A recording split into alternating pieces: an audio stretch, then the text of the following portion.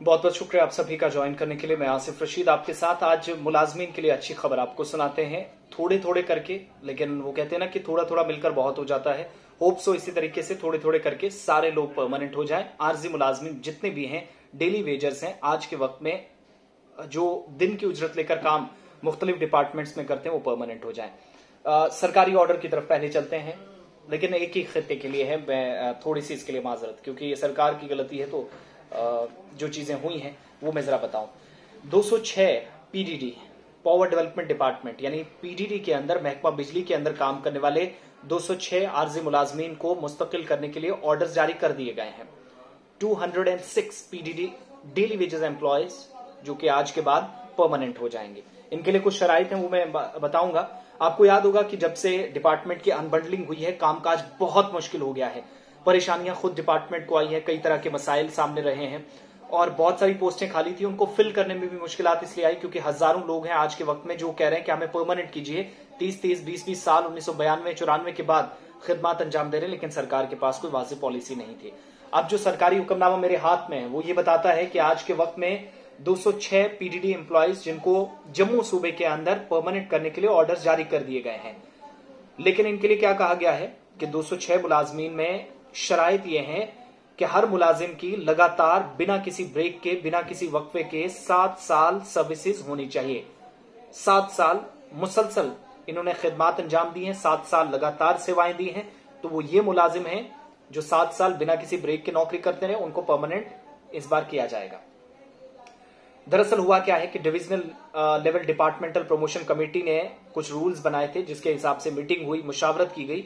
उसने डिपार्टमेंट के सामने सिफारिश की। रिकमेंडेशन की कि आप Jammu and Kashmir PDD subordinate services recruitment rules 1981 जिसके तहत एसआरओ तीन सौ इक्यासी पीडीडी उन्नीस सौ इक्यासी की इस एक्ट का हवाला देते हुए कहा गया कि जितनी भी खाली पोस्टें उनको फौरी तौर पर फिल किया जाए।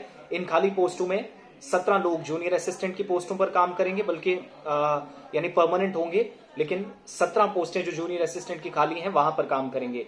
और एक सौ नवासी वन एटी नाइन कुछ लोग इसे इसे एक सौ नब्बे के करीब भी मानते हैं, लेकिन वन एटी नाइन जो ऑफिशियल है, जो दर्जा चाहरुम क्लास फोर्थ के अहदों पर, इन पोस्ट पर डिपार्टमेंट में काम करेंगे, जो खाली पोस्टें इस वक्त हैं तो कुल मिलाकर ये 206 पोस्टें बनती हैं, यहाँ पर 206 लोगों को पक्का किया जाने के ऑर्डर जारी कर दिए गए हैं। मीटिंग डिविजनल लेवल डीपीसी जो है डिपार्टमेंटल प्रमोशन कमेटी उसकी मीटिंग 9 तारीख को फरवरी के महीने में 2021 में हुई थी, और उसके बाद मैनेजिंग डायरेक्टर को कन्वे किया गया।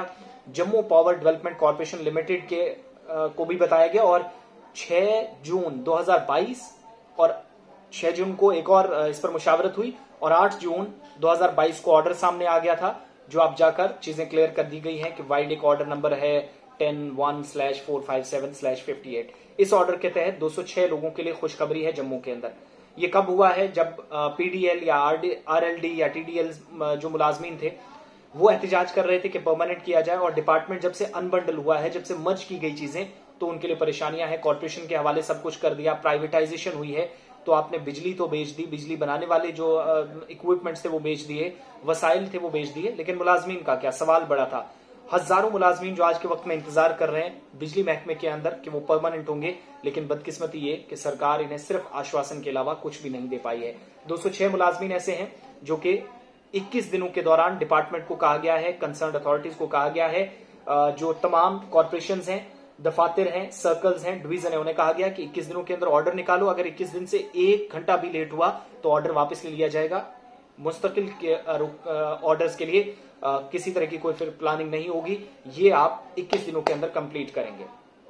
दूसरा बात ये दूसरी कहा गई है कि अगर 21 दिनों में प्रोसेस कंप्लीट नहीं होता है तो बिना किसी नोटिस के हायर अथॉरिटीज एक और ऑर्डर जारी करेंगी, पहले वाले ऑर्डर को मनसूख कर देंगी, खत्म कर देंगी और रेगुलराइजेशन फिर नहीं हो पाएगी। 2019 के बाद से ही कुछ मुलाजिम है डिपार्टमेंट के अंदर पोस्टें होने के बावजूद भी परमानेंट नहीं हो पाए और बहुत सारे लोग हज़ारों ऐसे हैं जो कई सालों से काम कर रहे हैं। अब क्या कहा गया है कि 21 दिनों के अंदर प्रोसेस कंप्लीट करना है? तो उससे पहले जिन लोगों को ज्वाइन करवाना है, ये 206 लोग जो हैं, एक तो सात साल मैंने पहले ही बताया, सात साल कम से कम नौकरी करना ज़रूरी बिना किसी ब्रेक के, अगर उनने ऐसा किया है तो वही परमानेंट हो पाएँगे। दूसरा एकेडमिक क्वालिफिकेशन सर्टिफिकेट यानी कितने वो पढ़े हैं, वो सर्टिफिकेट उनसे मांगी गई है। डेट ऑफ़ बर्थ सर्टिफिकेट मांगी गई है। इसके अलावा पीआरसी और डोमिसाइल सर्टिफिकेट या relevant category S T S C general या फिर ओबीसी और बाकी कोई कैटेगरी रिज़र्व में आता है तो वो सर्टिफिकेट अगर किसी के पास है, वो जमा कराने के लिए कहा गया है। अब इस ऑर्डर के मुताबिक 206 लोग ये सिर्फ़ जम्मू सूबे के अंदर, जब से डिपार्टमेंट अनबंडल हुआ है, परेशानी का सामना कर रहे हैं। 206 लोग इनमें से 17 जूनियर असिस्टेंट की पोस्टों पर, एक सौ नवासी डिपार्टमेंट में क्लास फोर्थ की पोस्टों पर काम करेंगे। मगर हुआ क्या है?